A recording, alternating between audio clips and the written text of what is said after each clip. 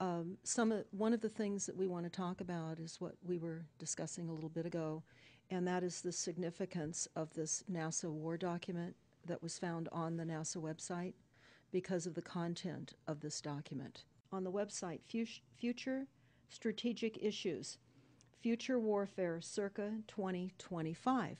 And the entire premise of the document or the PowerPoint is about robots, cyborgs, and humans.